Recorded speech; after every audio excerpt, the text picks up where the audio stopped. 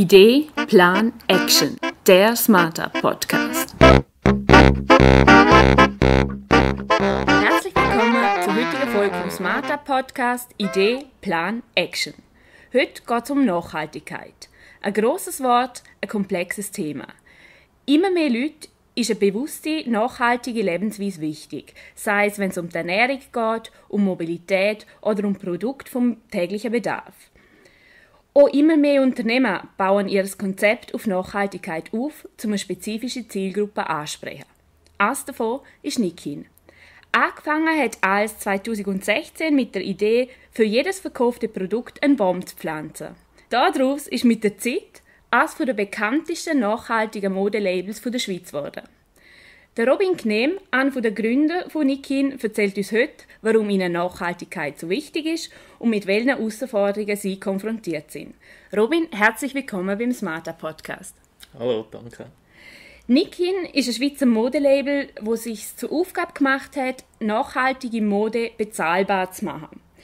Robin, ihr habt 2016 Nikin gegründet und habt mhm. durch den Verkauf von euren Produkten mittlerweile über 1 Million Bäume abpflanzen können. Wie ist es zu dieser Idee gekommen?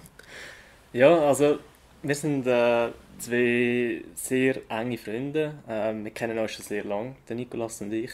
Und ähm, wir sind zusammen auch aufgewachsen. Mein Bruder ist der Götti-Bub von seinem Vater und ähm, wir zusammen sind auch zusammen in die Pfadi gegangen. Wir sind also sehr verbunden mit der Natur. Wir sind so Naturburschen, sehr gerne verrossen.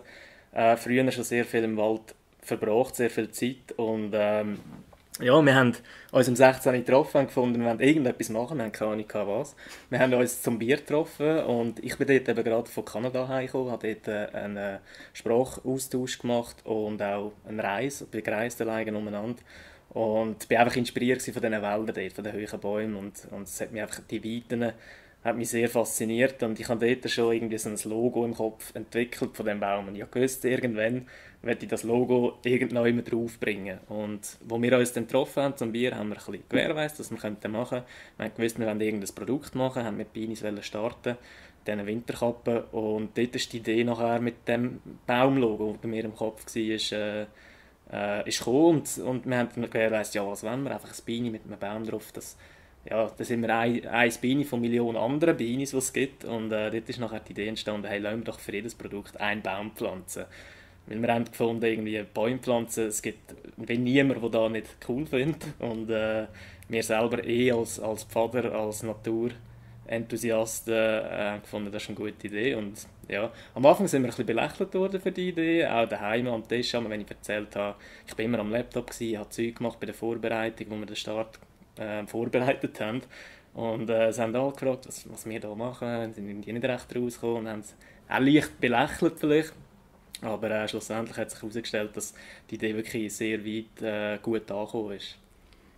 Jetzt im Vorgespräch hast du erzählt, ähm, dass die Herstellung der Produkte eigentlich nicht von Anfang an nachhaltig war. Genau, also wir haben es wirklich eigentlich mehr wegen dem Baum gemacht. Wir haben es cool gefunden, Bäume zu pflanzen, so viel wie es geht. Eigentlich weniger an die Nachhaltigkeit dabei gedacht. Auch bei den Produkten haben wir, wir haben mit 5000 Franken gestartet, äh, bis jetzt eigentlich nie Fremdkapital bekommen, haben immer also sind eigentlich von Anfang an in den schwarzen Zahlen gewesen, halt auch, ja, weil wir äh, sehr klein gestartet haben und einfach mal gemacht haben. Mit diesen 5000 Franken haben wir uns aber kein Produkt können leisten die in Europa hergestellt sind oder wo es aus äh, speziell nachhaltigen Materialien sind. Und äh, so haben wir gestartet und es war uns wie auch gar noch nicht so bewusst gewesen, äh, die nachhaltige Kleiderbranche. Und äh, mehr und mehr, äh, wo auch der Kundenstamm gewachsen ist, sind immer mehr Leute auf uns zugekommen und haben gesagt, hey, ihr pflanzt Bäume. Und nebenbei haben wir aber Beanies und andere Produkte, die aus Asien kommen. Irgendwie, das passt doch nicht zusammen. Und das ist uns immer mehr bewusst geworden, auch durch unsere Community. Und wir haben uns dann selber einfach mal überlegt, ja, was heisst das überhaupt, Nachhaltigkeit? Ich meine, wir beide haben null Ahnung von der ganzen Kleiderindustrie. Äh, wir haben einfach irgendwie angefangen, einfach gestartet und alles selber ein bisschen gelernt. Und haben uns zuerst mal ein Bild machen, was heißt das überhaupt? Dass zum Beispiel eben in Asien produzieren, dass, da, dass das mit weiten Wegen verbunden ist. Und haben so auch entschlossen, dann möglichst alles in, in Europa zu produzieren, einfach um diesen Weg können sparen. Wir haben es auch nicht wollen, einfach CO2 kompensieren, weil das ist für uns wie so ein bisschen äh, «Kauf dich frei» Karte von Monopoly, das gutes Gewissen kaufen. Ähm, das haben wir nicht machen und darum haben wir gesagt, wir wollen in Europa produzieren, haben dann ein bisschen umgeschaut, was gibt es überhaupt für Materialien, die Nachhaltigkeit sind, haben gemerkt, okay, Bio-Baumwolle besser als Baumwolle, dann kann man recyceltes äh, Polyester brauchen, wenn es irgendwo nötig ist. Und so haben wir uns ein bisschen das reingelesen und äh, selber eigentlich unsere Erfahrungen gemacht und haben auch gemerkt, wir können nicht vom einen auf den anderen Tag einfach nachhaltig sein, sondern haben gemerkt, Nachhaltigkeit ist ein riesiger Prozess. Es wird von allen ein bisschen anders auch interpretiert. Also haben wir uns dann selber unsere, unseren nachhaltigen Weg eigentlich äh, erstellt und, und folgen dem seitdem eigentlich. Also ja, es ist, es ist ein Lernprozess für euch persönlich, für euer Unternehmen. Ähm, und wie, wie ist jetzt heute eure Philosophie betreffend Produktion? Nachhaltigkeit, was bedeutet das für euch? Ja, wir werden oft gefragt, ja, ist das, was wir machen, nachhaltig schlussendlich? Und wir sagen immer offen und ehrlich, ey, wenn du komplett nachhaltig sein dann kauf deine Kleider als Secondhand oder kauf gar nichts. Äh, sprich, also auch wir wollen verkaufen, wir sind keine Non-Profit, keine Non-Profit-Organisation, aber wir wollen es wenigstens so gut wie möglich machen, so, so nachhaltig wie möglich. Und das sind wir seit Anfang eigentlich Step für Step am, am verbessern. Wir haben sehr viel äh, können umsetzen. Wir sind selber zum Beispiel GOTS zertifiziert. Das ist ein äh, Label für Biofasern. Äh, ist eines der bekanntesten und da haben wir uns können zertifizieren, haben auf dem ganzen Weg auch mit den Herstellern, wo wir schon seit langem zusammen arbeiten, ähm, die können dazu bewegen, auch nachhaltiger zu werden. Ein paar von denen haben sich selber sogar auch zertifizieren lassen. Und so haben wir äh, ja, mit recht vielen Herstellern, die wir als Partner anschauen und nicht einfach als unsere Hersteller. Ähm, ich denke, das ist auch etwas mega Wichtiges, zum nachhaltig zu sein, dass man äh, gute Partner hat, auch Vertrauen hat in die und äh, einander auch gegenseitig hilft. Hat uns in der Corona-Zeit sehr geholfen, dass wir ähm, gute Partnerschaften hatten. Ich glaube, das gehört auch zu unserer Philosophie, dass wir, ja, wir wollen, wir wollen auch die Hersteller wie, wie Partner behandeln und nicht einfach als, als die Hersteller. Genau. Ja, nein, und es ist ja auch ein, ein anderer Approach, also es gibt verschiedene Approaches, die man da wählen kann. Man kann sagen, wir wollen ein 1000% nachhaltiges Produkt, wo sich ähm, 0,01% der Leute leisten kann. Oder man kann sagen, wir möchten eigentlich ein nachhaltiges Produkt für eine breitere Masse schaffen und vielleicht damit zu einem Umdenken der Gesellschaft beitragen. Genau, das ist eigentlich genau das, was wir machen wollen. Wir wollen zeigen, man muss nicht perfekt sein, um die Welt verändern oder besser zu machen. Aber es langt, wenn eine grosse Masse ein bisschen in die richtige Richtung geht und ein bisschen nachhaltiger einfach durch den Alltag durchgeht. Es geht nicht nur um Kleider, man kann sich in so vielen kleinen Bereichen ein bisschen verbessern, ohne dass man das ganze Leben muss auf den Kopf stellen muss. Und das wollen wir genau auch mit unserem Brand zeigen, dass, dass man nicht perfekt muss sein muss. Wir sind längstens auch nicht perfekt. Wir sind auf dem richtigen Weg. Wie gesagt, Nachhaltigkeit ist ein Prozess, der bei kleinen Sachen anfängt, wie bei Recycling, bei Abfall trennen oder mal äh, statt einer PET-Flasche eine eigene Flasche mitnehmen. Das sind wirklich die kleinen Sachen und das was wir auch wollen, äh, verkörpern Wir haben auch Produkte, wir haben überall kleinere Kompromisse drin, dass wir die Produkte auch können zu einem bezahlbaren Preis anbieten können, wir haben das Gefühl, wenn, wenn nachhaltige Mode einfach nicht, nicht kaufbar ist oder weil es einfach zu teuer ist, hat es fast keine Chance, auch massentauglich zu werden. Und dann wollen wir wirklich mit unseren Kleidern auch entgegenwirken und, und probieren, einen möglichst fairen Preis dem Kunden anbieten äh, ohne dass wir irgendwie bei den Herstellern müssen drücken. Das können wir machen, weil wir direkt einkaufen, nicht über Agenturen und auch über 95% direkt weiterverkaufen, über keine äh, Zwischenhändler äh, gehen, wo, wo wir auch wieder Marge würden verlieren und so können wir uns das leisten, sehr faire Preise anzubieten, äh, dass sich das auch jeder kann leisten kann. Du hast die Kompromisse angesprochen.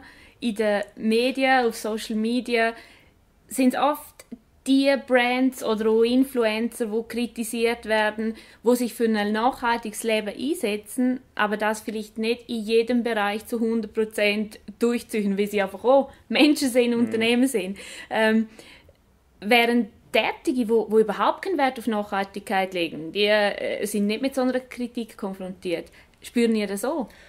Ja, wir spüren es schon, aber ich glaube, es ist absolut so, dass die, die, die sagen, sie sind nachhaltig, werden, sind, sind viel eher mal auf der Zielscheibe und das finde ich genau das Schade, weil die, die sagen, sie sind nachhaltig, die machen ja auch in der Regel etwas Nachhaltiges. Und jeder, der irgendwie in die Richtung geht, denke ich, geht in die richtige Richtung. Und das soll man doch feiern eigentlich und nicht irgendwie kritisieren. Und ich meine, bei jedem Unternehmen, beim nachhaltigsten Unternehmen, findest du Punkte, die nicht nachhaltig sind. Und das finde ich immer schade, wenn, wenn Kritiker irgendwie von diesen 90 guten Punkten die, die 10 schlechteren Punkte gehen wirklich suchen und, und nachher die gross aufhängen. Und das andere, alles Gute, was du machst, wird dann wie ja, ein bisschen in den Hintergrund gestellt. Und das ist genau schade. Wir, ja, man sucht Fehler, aber das ist, glaube ich, schon immer so gewesen. Ja, das ist schon ein bisschen, leider ein bisschen menschlich, oder? Ja.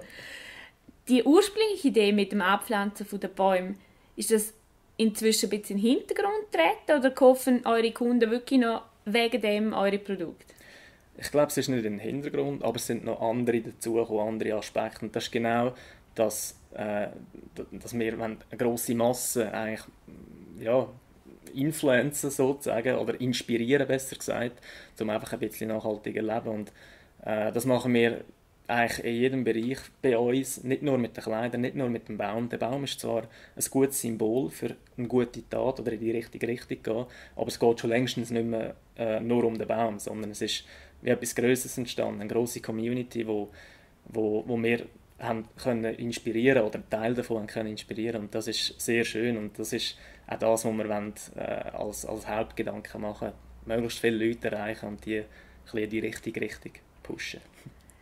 Ist bei euch im Unternehmen, im unternehmerischen Handeln, Nachhaltigkeit auch in anderen Bereichen, also das heißt, wenn es um Zusammenarbeit geht, äh, Umgang mit den Mitarbeitern, ist das dort auch ein Thema? Ich glaube, das ist voll in unserer DNA, auch unbewusst so gewesen, äh, wo wir das gegründet haben.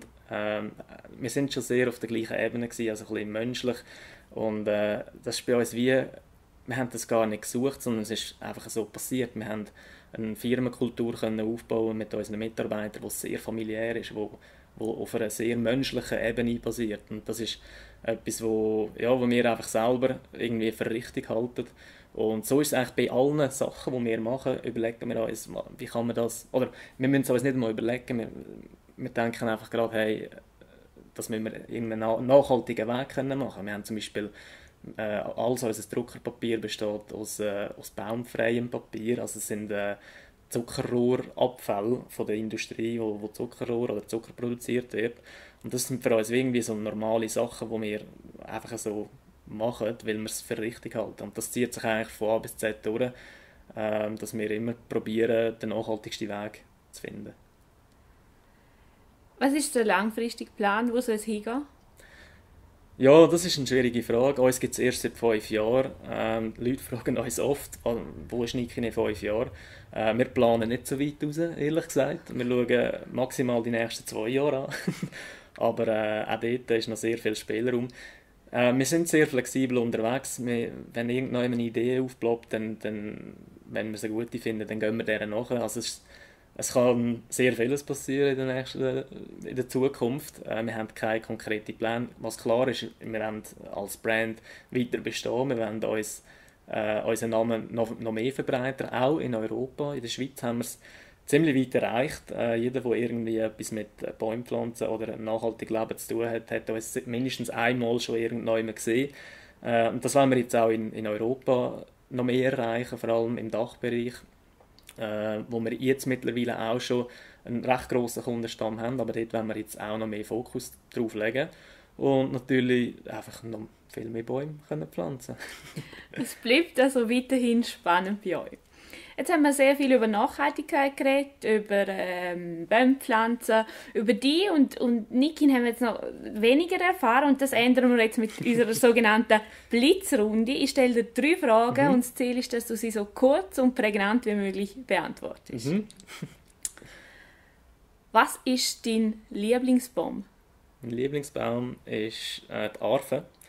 Äh, ich liebe den Geschmack von der Arve. Wenn irgendjemand ein Möbel steht aus Arvenholz, dann gehe ich verschaben. ich muss immer dran schmecken. also musst du ein paar Arven pflanzen, damit du dann aus Arvenholz genau. schmecken kannst. Wenn du heute nochmal ein Unternehmen gründen würdest, was wäre es für das? Äh, ich habe sehr viele Ideen, ehrlich gesagt. Äh, ich sehe mich selber auch ein bisschen als Tüftler und Erfinder. Ich äh, denke, es wäre wieder irgendetwas Richtung Nachhaltigkeit, äh, aber wahrscheinlich eher etwas Technischeres, ein Produkt, das ein bisschen technischer ist. Ne? Und was braucht es, um als Gründerin, als Gründer erfolgreich zu sein? Positive Grundeinstellung. Weil äh, Glück kann man nicht erzwingen. Oder mal eben, eben gleich ein bisschen. Glück kann man ein bisschen erzwingen durch eine positive Grundeinstellung und eine offene Art, Ja sagen zu Chancen und äh, ja, das Glück auch entgegenkommen ja, das ist ein gutes Schlusswort. Robin, ich bedanke mich ganz herzlich für das spannende Gespräch und dass du uns Einblick hinter Kulissen von Nikin gegeben hast. Ich bin sicher, das äh, inspiriert viele andere Startups dazu, ihren Weg äh, zur Nachhaltigkeit oder mit Nachhaltigkeit zu finden. Liebe Zuhörerinnen und Zuhörer, vielen Dank, dass ihr euch Zeit genommen habt, uns zuzulassen. Wir hoffen, die Folge hat euch gefallen. Schreibt doch einen Kommentar, wir freuen uns über jedes Feedback. Das ist es mit der ersten Staffel vom Smart Up Podcast Idee, Plan, Action. Es hat riesig Spaß gemacht, mit inspirierenden Gründerinnen und Gründern über die Soft Factors vom Unternehmertum zu reden. Worum es in der nächsten Staffel von Idee, Plan, Action geht, das wird an dieser Stelle noch nicht verraten. Wenn ihr uns auf unseren Social Media Kanälen folgen, bleiben wir auch darüber auf dem Laufenden. Und wenn ihr Themenvorschläge habt, immer her damit. Wir freuen uns, wenn ihr auch bei der nächsten Staffel von Idee, Plan, Action wieder mit dabei seid. Bis dahin wünschen wir euch eine erlebnisreiche Zeit. Unseren Podcast Idee, Plan, Action gibt es monatlich auf allen gängigen Podcast-Plattformen. Weitere Infos finden ihr auf unseren Social Media Kanälen und auf www.hslu.ch/smartup.